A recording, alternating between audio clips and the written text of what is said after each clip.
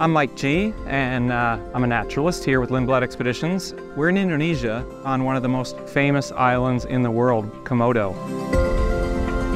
We're here in this beautiful place, surrounded by birds, an incredible ocean, and we're gonna find the Komodo dragon.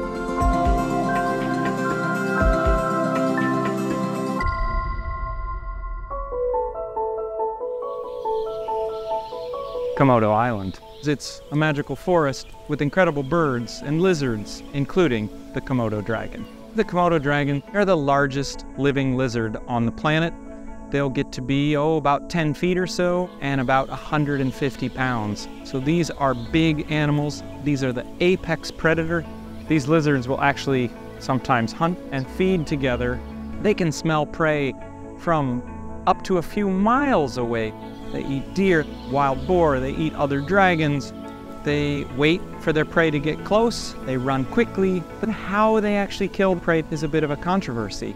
Small prey, they're able to just kill it and eat it right away, but bigger prey, they bite and then wait a few days. They have a lot of bacteria in their mouth. They also are venomous, but the debate about which one is causing it, it's a bit up in the air.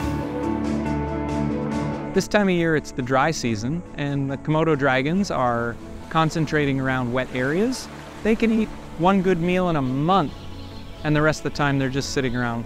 Maybe they're walking along the path, they're smelling, watching dragons just sitting doing nothing, watching them walk through the forest, the tongue flicking out, searching for food. It's amazing to see this creature. Komodo Island is not only a national park, but it is also a UNESCO World Heritage Site.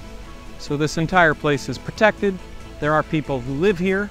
They make their money off of tourism for the most part, but it is a magical place with native habitat, birds, lizards, and also the wonderful underwater world.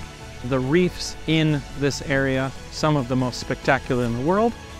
For any wildlife enthusiast, this is a dream come true.